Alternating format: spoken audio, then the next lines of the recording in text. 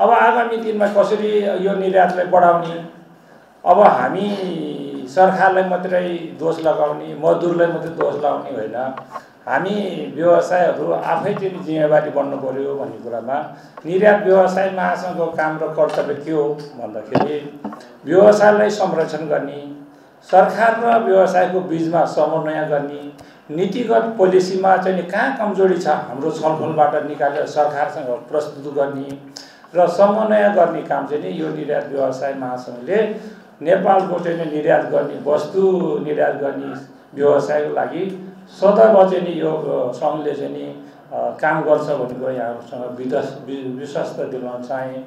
र अब हाम्रो निर्यात चाहिँ नि हामीले एउटा स्ट्राटेजी प्लान बनायौँ। स्ट्राटेजी प्लान बनाउँदाखेरि हामीले पाँच वर्षमा के गर्ने कति गर्न सक्छौँ भन्दा तिन वर्षमा दुई तिन गुणा गर्ने या दुई गुणा गर्ने एक अर्ब खर्बको वरिपरि अहिले निर्यात छ भने त्यसलाई हामीले दुई गुणा गरे भनेपछि भन्ने बित्तिकै दुई खर्बभन्दा बढी गर्नुपर्छ भन्ने हाम्रो निचोड छ।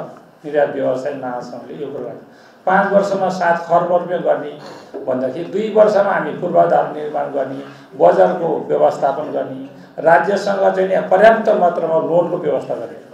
पुँजी बिना एक्सपोर्ट हुन सक्दा निर्यात गर्नु गाह्रो हुन्छ। त्यसलाई हामीलाई वित्तीय क्षेत्रमा चाहिँ नि प्रशस्त चाहिँ नि हामीले पाउनु पर्ने सुविधा भन्ने कुरामा हामीले राखेछौँ।